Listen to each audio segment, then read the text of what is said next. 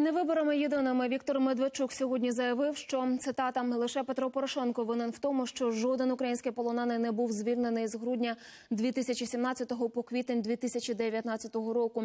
Крім того, на думку голови політради опозиційної платформи за життя, саме Порошенко та його команда у листопаді та грудні 2017 року ледь не зірвали перший етап обміну полонених і повністю заблокували другий етап всіх встановлених на всіх встановлених.